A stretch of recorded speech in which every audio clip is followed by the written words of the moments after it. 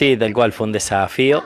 Eh, la vez pasada hablamos con Gaby, llega el invierno, vamos a ver cómo podemos hacer. Bueno, pudimos conseguir un contacto en Buenos Aires, en una fábrica directamente. Y bueno, desde la fundación se pudo conseguir las zapatillas para 84 pares de calzado, fantástico. Eh, lo que sí me faltan numeritos más altos todavía, así que la próxima compra que se haga va a ser para números de 30 para arriba. Pero bueno, ahora podemos asistir desde el 22 al 28 a todos estos enanos que fue fantástico verlos ayer poniéndose las zapatillas. Así que, ¿Dónde fue la entrega? Eh, acá, acá en Panza. Eh, estábamos día, día de Panza, teníamos día de merendero y, y, nos llegó a la mañana el envío y bueno, dijimos a la tarde damos zapatillas. Así que bueno, así salió, como siempre digo, ¿no? Con muchas ganas, con mucho amor, con, con mucho empuje.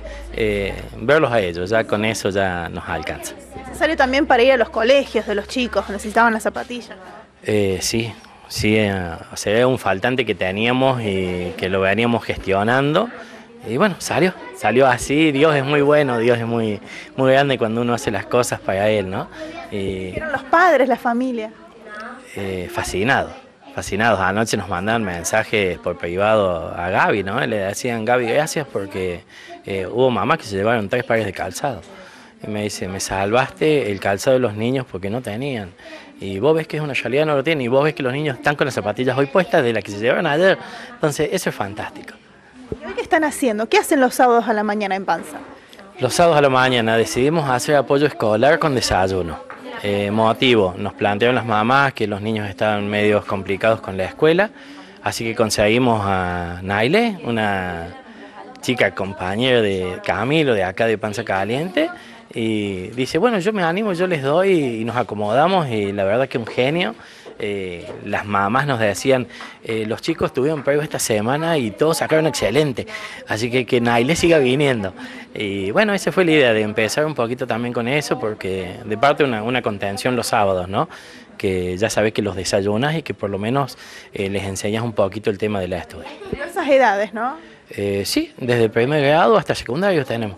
Así que es para todo aquel que necesite los sábados de 10 a 12, Panza está abierto con apoyo escolar. Bueno, acá vemos a los chicos, ¿no? Estudiando. Naile, ¿cómo estás? Naile, te desconcentramos un minuto. Bueno, contanos, ¿cuántos años tenés y cómo surgió esta idea de ayudar a Panza? Eh, tengo 18 años. Eh, la idea surgió porque empecé a venir por un proyecto escolar eh, y Gaby me ofreció darle clases particulares a los chicos. Eh, así que así organizamos y bueno, empezamos de a poco y ya hoy eh, ya es seguro que el sábado hay sí o sí particular.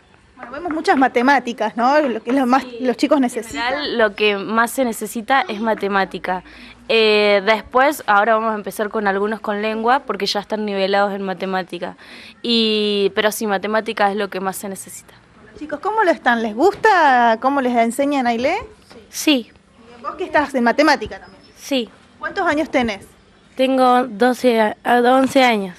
¿Y vos cuántos años tenés? 9. ¿Y vos, amor, que estás con la vincha esa de Nini? ¡Qué bonita! Yo tengo 10 años. Bien. ¿Y cómo te tratan ahí? ¿Le aprendés? ¿Te, es fácil? Ya me aprendí la tabla del 1, la del 2 y ahora me estoy aprendiendo la tabla del 3. Gracias, chicos. Gracias, Nailé.